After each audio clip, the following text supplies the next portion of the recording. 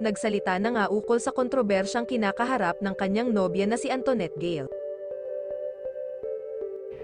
Paano naging kakaiba yun? Sumayaw lang. Nagkaroon lang ng mga guess. Kakaiba na yun? Paano mo masasabing kakaiba yun, kuya? Alay nyo naman, walang ibang kayang sayawin kundi iyon lang. Hindi naman marunong mag-hip hop si Antoinette.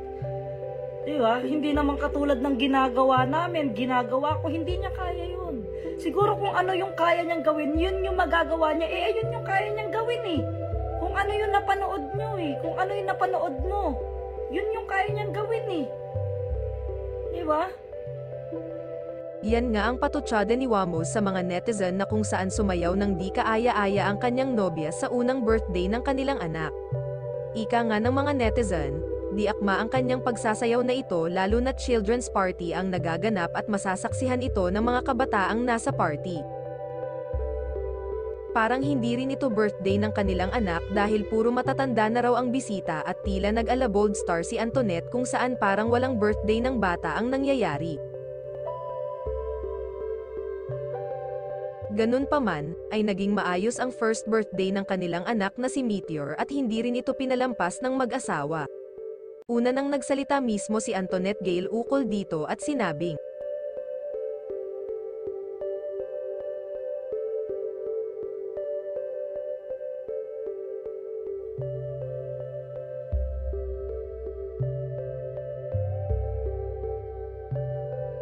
Hindi rin pinalagpas ito mismo ng kanyang asawang si Wamos at nagsalita rin upang ipagtanggol ang asawa. Opinion ko lang ha. Sana ganito ginawa niyo sa birthday niyo. Sana ganyan. Yung birthday ba ng anak mo, ginanon ko? Ginanon namin? Hindi naman, di ba? Yung sayaw ni Antoinette, hindi lang po para sa inyo, para sa anak ko. So ano yung reaction ko doon? Kasi hindi ko din naman alam. Hindi ko din naman alam na, na hindi ko din naman alam na ganun sasayawin ng asawa ko. Eh, hindi naman kaya mag-hip hop ng asawa ko. Hindi naman pwedeng mangyari yung sinayaw niya, ako yung sumayaw. Parang mas pangit naman atang tignan nun, di ba? Para mas katawa-tawa naman. Kung ako naman yung sumayaw, yung ganun yung suot ko, ganun yung itsura ko. Tapos ayun yung pinakita ko, di ba? Yung sinayaw ni Antoinette, parang tanga-tanga naman ako nun. Di ba? So natural lang na ganun yung sayaw. Pambabae nga eh. Choice niya yun kung ano yung gusto niyang sayawin. At kung ano po yung nasa isip nyo, wala na po kami doon. Basta ang importante, naglaan yung asawa ko para doon sa birthday ng anak ko. Ako natutuwa ako. Bakit po ako natutuwa nung araw na yon? Kasi bakit first time ko makita yung asawa ko na ganun eh.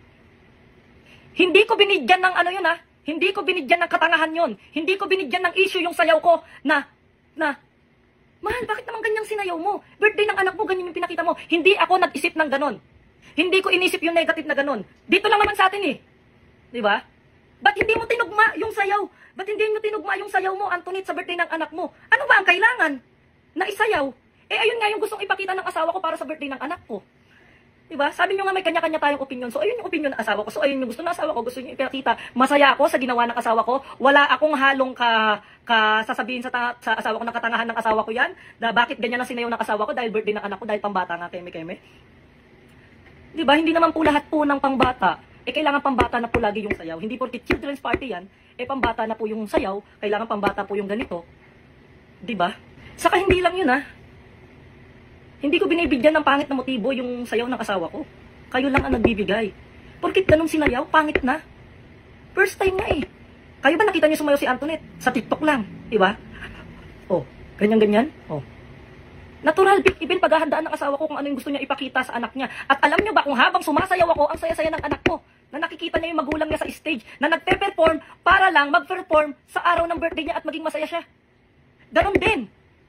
Hindi po tulog ang asawa, ay ang asawa ko, hindi po tulog ang anak ko noon. Nandun lang po siya sa stroller niya, nakahiga at nanonood. At masaya po, no? Masaya.